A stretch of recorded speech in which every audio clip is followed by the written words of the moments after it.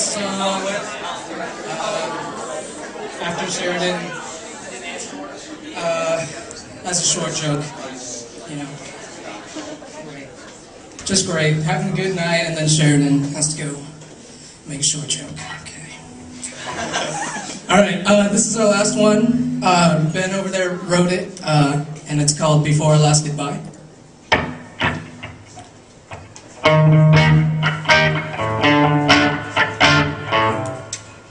Start